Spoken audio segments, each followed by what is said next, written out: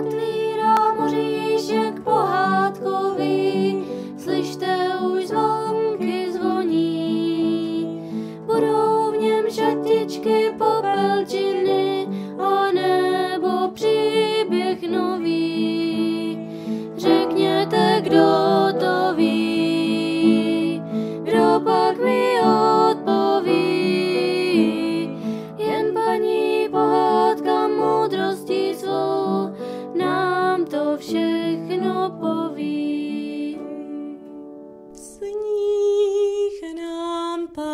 padá z nebíčka, chumelí.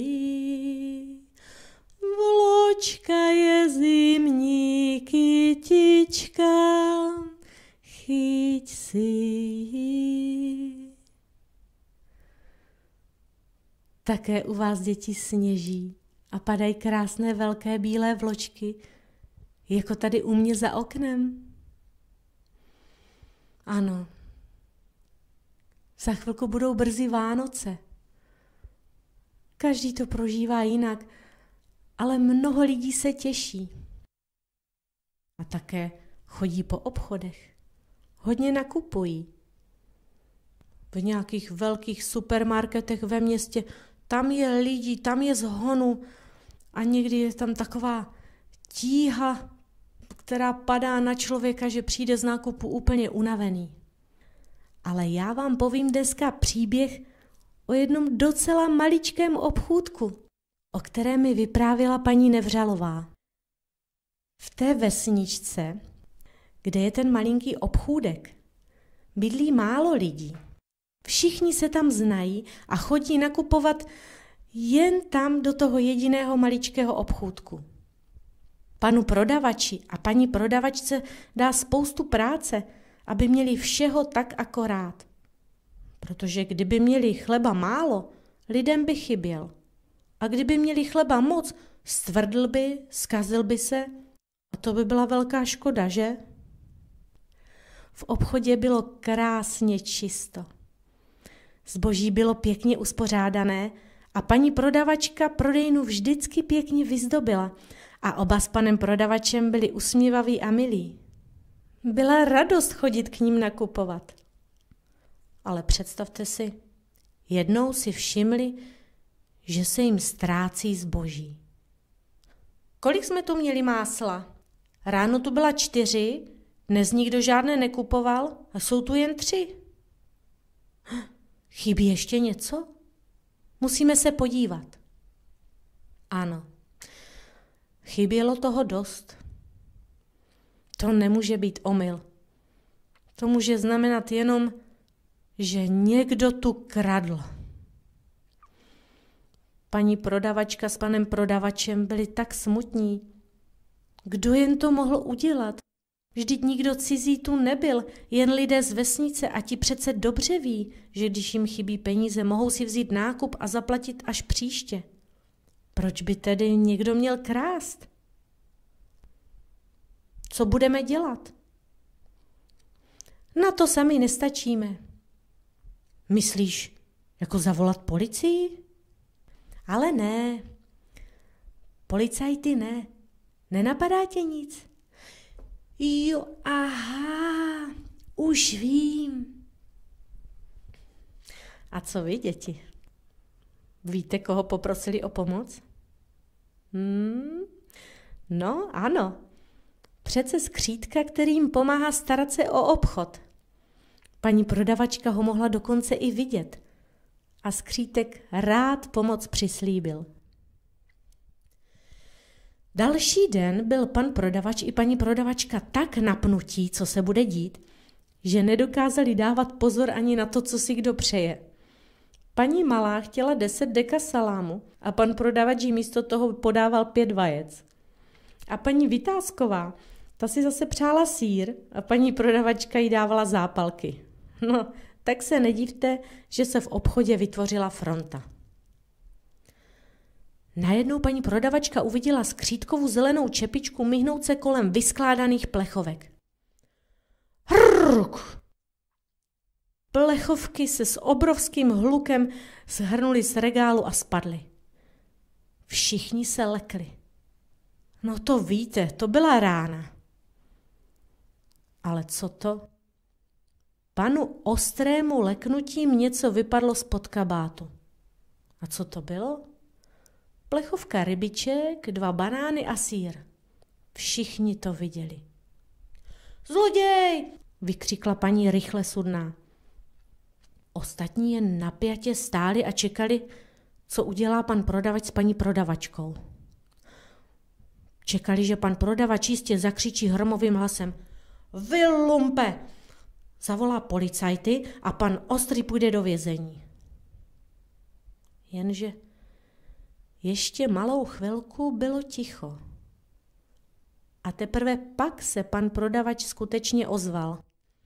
Ale ne hromovým hlasem, docela normálním. Tak to vy, pane Ostrý? Prosím vás, a proč? Pan Ostrý by se nejraději někam schoval. Tak se styděl. Prosím vás, nezlobte se. Chtěl jsem vám to všechno nahradit.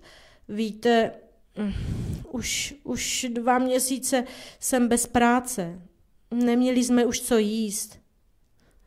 Ale jak budu mít práci, všechno vám zaplatím. A to jste nemohl přijít a říct nám to. Vždyť bychom se domluvili, pane Ostrý. Víte, pane prodavači, když já jsem se tak styděl, že si nedokážu najít práci. Pane Ostrý, když někdo nemá peníze, to přece není žádná hanba. Hanba je jednat proti přikázání. Nemám pravdu? Pan Ostrý jen přikývl a sklonil hlavu. A pan prodavač se na něho pozbudivě usmál. Něco mě napadlo. Vy jste zedník, že? Potřeboval bych opravit zítku kolem celé zahrady, než seženete práci. Můžete si tím zatím přivydělat. Paní rychle sudná dojatě zamrkala a pan Ostrý nemohl překvapením ani promluvit. Tak, tak já vás okradu a vy mi ještě nabídnete práci? Co pak to jde? Co by nešlo? Musíme si přece pomáhat, teď vy jste slušný člověk a v nouzi se může někdy ocitnout každý. Vím, že už nikdy krást nebudete. A v obchodě jako by vyšlo sluníčko. Všichni zákazníci byli tak překvapení z toho všeho, co se událo, jen paní prodavačka se usmívala a dívala se nad pult. Jen ona tam viděla skřítka se zelenou čepičkou, jak se spokojeně usmívá a radostně pohupuje nožkami na regále. A, a hádejte, kdo měl za týden nejkrásnější zítku z celé vesnice? No ano. Ano, pan prodavač a paní prodavačka. Tak to dobře dopadlo, děti. Také z toho máte radost. Ať se vám hezky usíná. Dobrou noc. Sníh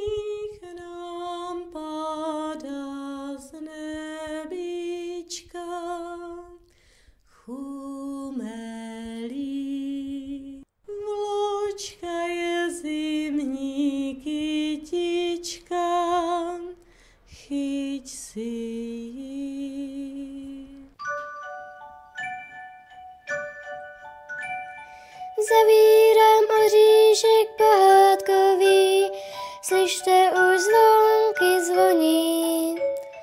Byly v něm šatičky popelčiny a nebo příběh nový.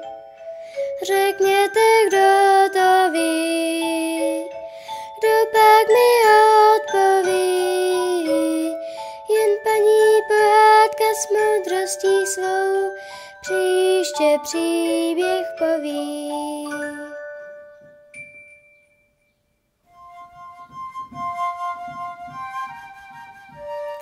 Děti, víte, že každý oříšek má bělostné jadírko a v každé naší pohádce je ukrytý poklad. Kdo bude naslouchat svým srdcem, tomu se určitě podaří najít. A kdo ho najde, může si ho uchovat ve svém srdíčku, aby mu svítilo na cestu.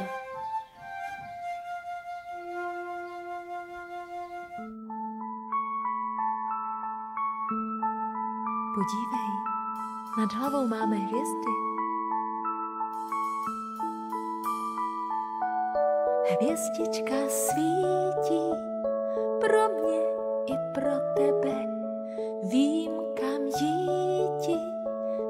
cestičkou do nebe.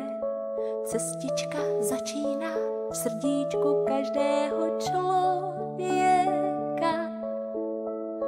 Ten, kdo ji nehledá, na svoje štěstí se načeká. Hvězdička svítí pro mě i pro tebe. Vím,